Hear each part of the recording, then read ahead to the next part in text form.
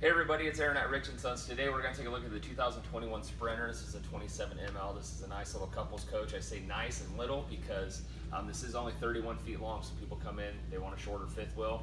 Um, like I said, this is just for a couple. So um, like I said, 31 feet long. It's 9,300 pounds dry, so you will need a three-quarter ton pickup. Um, fully loaded, you're at about 12,000 pounds. So um, on the outside of the coach, do give you a nice little outside refrigerator. Um, you also have some cabinets, storage up here. You even got a nice little USB port in here, so if you need to, you know, charge your phone, iPad, things like that. Um, and then up front here, you're gonna have your full pass-through storage. So um, nice thing is you don't have any plumbing work or anything that gets in the way, so you're gonna be able to put everything in there that you need uh, to enjoy your camping trip. So uh, of course, power awning, power jacks all the way around. Come inside here, the first thing you'll notice is a cool little bench here. You got some co hooks up here too. Just a good little area to put your shoes on, maybe grab a jacket.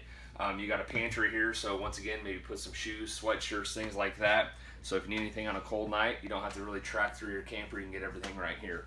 Um, like I said, this is a couples coach. This doesn't have a trifold sofa.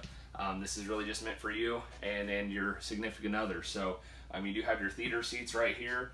You also have your dinette table and chairs on so on that whole slide out.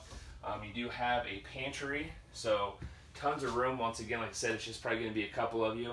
You'll be able to put all your food. Um, good little area for a trash can as well. Kind of a rear kitchen setup, so you got good counter space here, tons of cabinets, single basin stainless steel sink, microwave oven, stove. You got your eight cubic foot um, refrigerator in this unit as well. Across from your theater seats, you got a flat screen TV, sound bar, fireplace, um, nice little entertainment center area. So, said nice, nice and homey in here for sure. Um, up towards the front, you have your bathroom here to the left. Let me kick on a light here.